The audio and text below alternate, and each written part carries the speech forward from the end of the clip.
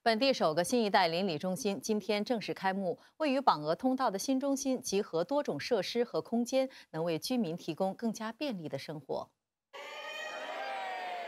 七层楼的新一代邻里中心绿洲台毗邻绿洲轻轨站，国家发展部长黄循才为新中心主持开幕仪式。新一代邻里中心集商场、综合诊疗所和儿童托管设施等于一身，为更多榜鹅居民提供便利。There's a polyclinic here, uh, as well as the NTUC. We used to go to Waterway Point previously, but now uh, we just it's at our doorstep, so we can just do our groceries here uh, at our doorstep. 建筑总面积约两万七千五百平方米，底楼的社区广场有近九百平方米，方便举行大小活动，让居民接触和增进了解。And we have taken in many of your suggestions. I think Ponggol must be a place with very young demographics. I see a lot of young families with children.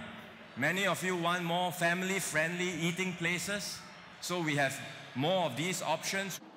接下来，政府会在三八旺、后港等市镇再启用五个新一代邻里中心，榜额也会在明年迎来第二个新中心。